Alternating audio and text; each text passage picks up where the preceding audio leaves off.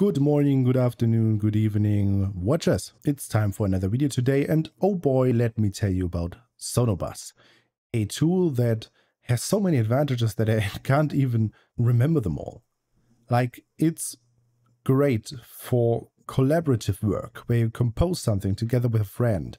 It's great for interview work where you interview someone and want to record it while recording yourself at the same time so that it can reduce the mixing that you need to do afterwards.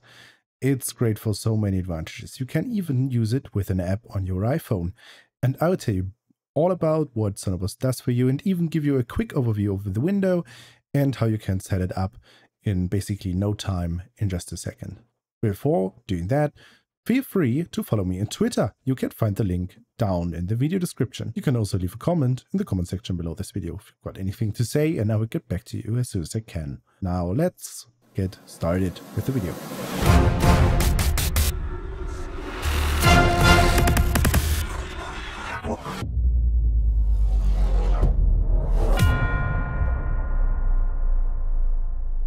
Sonobus is a software that allows you to connect to other people. It is so easy.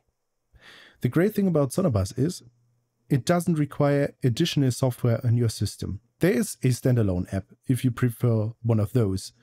But the great news is that you can also instantiate it as a VST plugin in Reaper and set it up that way. And this allows you to use the whole plethora of routing features that Reaper has to offer. You can route whatever you want into Sonobus. You can route whatever you want out of Sonobus. You can prevent anything that you don't want to be heard from going into Sonobus. You can connect with as many people as you like. You basically create a room where you get a link, where you get an ID, a group name. You can make it public or private. If it's public, then everyone can see them. Basically, everyone can join. That is a concept that is pretty popular amongst people who are trying to find people to create music with. Some musicians just create a public room and start jamming and then people will see, oh, there's a room, let's let's do the same and just join and see what we can do. And then people group together and create something awesome just by, you know, pure randomness, just getting together and playing music together, which is awesome. That's huge. If you want to do something particular, like play with a friend and don't want anyone else to listen to this except the people that you sent the link to, then create a private group, give it a name, give it a password if you want. And you can just you know, communicate with each other. You can talk to each other if you just create a track and route your input into Sonobus and all this kind of stuff. You basically can do whatever you can imagine with Reaper. It's just that easy. You go to the website that I will link down in the video description, download Sonobus and go through the installation. It's cross-platform, you can use it on a Mac and a Windows, no problem at all. You basically just install it, open your Reaper and get hacking. What you can do, the most easiest thing to do actually, is instantiate it on the master track. This will make sure that everything that goes into the master track, so every track by default, will be sent into the VST plugin and thus will be sent through Sonobus. And everything that the other people on your group send to you will get directly into your headphones through the master track. That's the easiest setup. And that's what I will show you now. I've enabled NVDA so all the sighted people don't get confused. You will listen to my speech in just a second. I've got an empty Reaper project in front of me and I have no tracks. No tracks here as you can hear. I will go to the master track with Control Shift Alt and Home. No selection. Although it says no selection, I now have the master track selected. I can press F. Add FX to master track dialog filter. Combo box collapsed. Edit selected Sonobus. And in here we've got Sonobus. Now we can press Shift Tab. List 1 list VST3.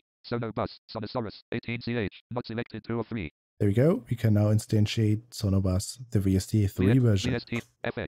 Master track dialog. Press connect button to start. Please use headphones if you are using a microphone. Press connect button to start. Please use headphones if you are using a microphone. List 1 list 0.0% slash 0.0% CPU 0 slash 0 SPLS property page. Press connect button to start. Please use headphones if you are using a microphone. Press connect button to start. Please use headphones if you are using a microphone. Connect button. Sonobus connect button.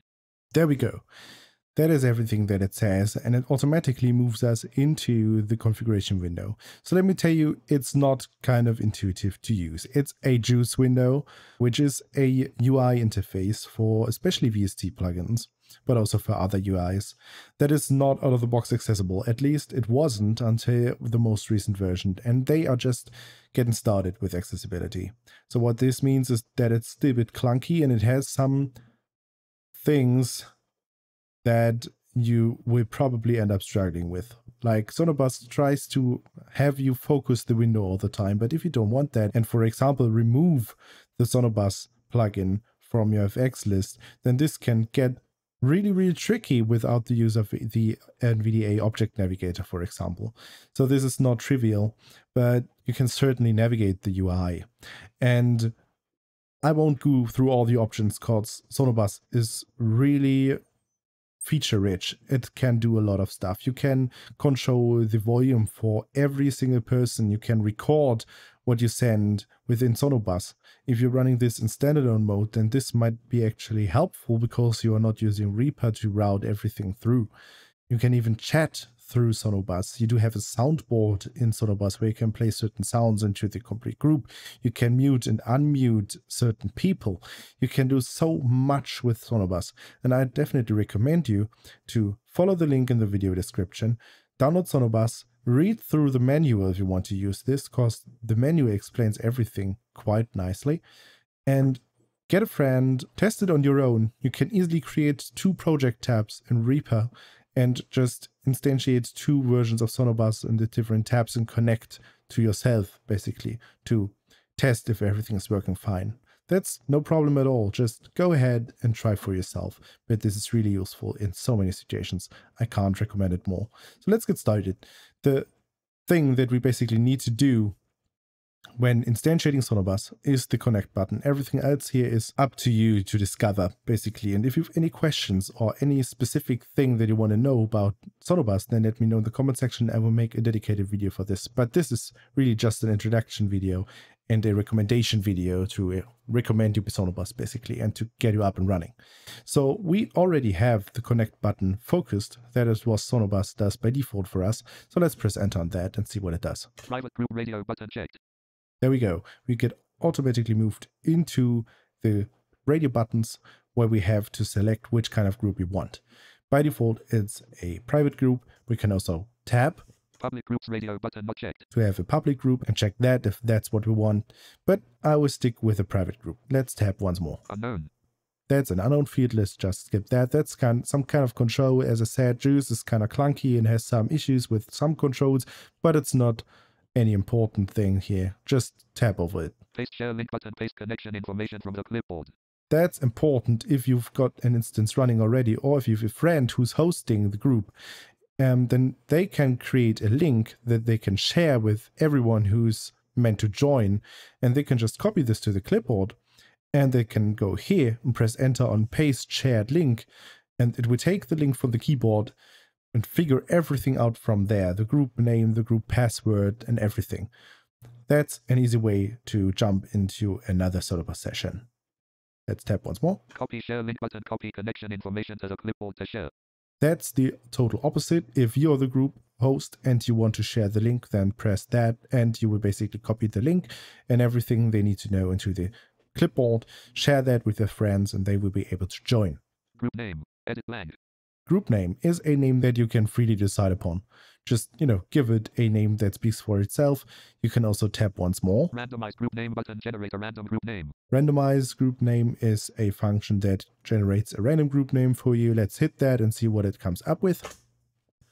Group name. Edit spec corrector. Spec erect tour. It's it's great. It's awesome. I would take that every time. Um, so it basically randomize words, put them together like three words, four words, whatever. Generate a random group name that's not yet there yet, and um, you know, name your group like that. If that's what you want, do it. Randomize group name button. Generate a random group name. Optional group password. Edit blank. optional group password as it says quite intuitive right don't need to enter a password if you want for extra security go ahead do it and share it with your friends Your displayed name. Edit Toni. your displayed name minus toni obviously so you can enter whichever you want and uh, you will go another name Connect to group button. And then we have the connect to group button. Let's push that. Waiting for other users to join group spec corrector. Waiting for other users to join group spec corrector. There we go. And you have set up the group and everyone will be able to join by sharing the details that you've seen in the winner before.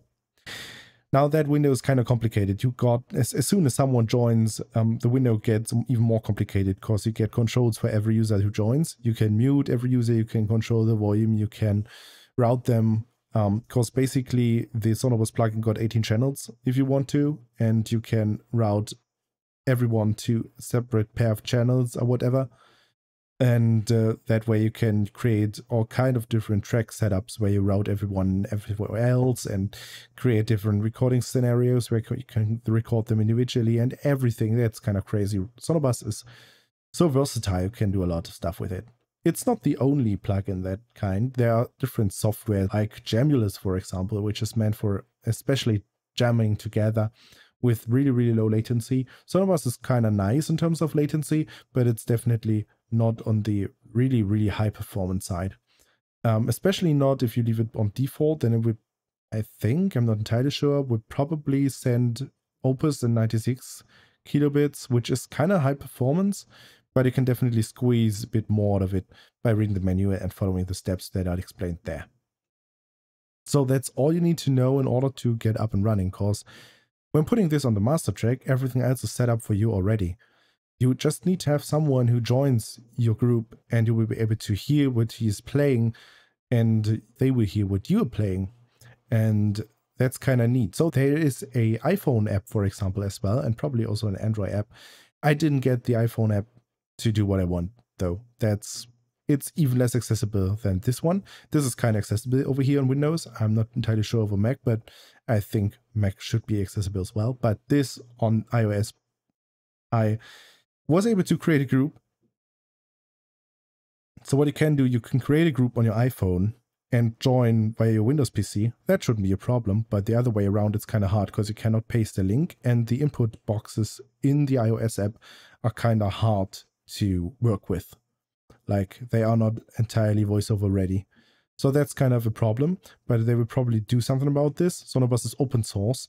Um, you don't have to pay anything. So that's definitely something to try out and to have, you know, in your bag in case you need something to work collaboratively on some project or something. Consider Sonobus. Definitely worth a try. It's for free, you know. Never dump a free product. And that's it. A quick video. Just wanted to recommend Sonobus to you. It's an awesome tool. I like it. Whenever I'm like, let's create a music project together, or I've got an idea, let me show you this. And I'm not up to, you know, setting up loopback in Discord, and Discord voice quality is just bad, and the Discord voice detection feature and voice activation would just kick in, and normalization would disturb everything and such. I would just set up Sonobus, create a link, send it to my friends, and they will be able to join. Easy as that. They will have to have experience with Reaper though, or they need to run the standalone app to do that. But as you can see, it's basically just a guide them through once and they will be able to connect and you will be able to do everything you want process kind of thing. So definitely give it a try. It's worth it. Thanks for watching until here. And, uh, you know, it's kind of hot outside. It's summer. It's really, really hot. Stay hydrated. Take care. And uh, if you've got some free time, feel free to subscribe to my channel if you enjoyed the video. Or, you know, follow me on Twitter if you've got a Twitter account. And uh, you will hear from me in the following days. And until then, have a nice day. Bye bye.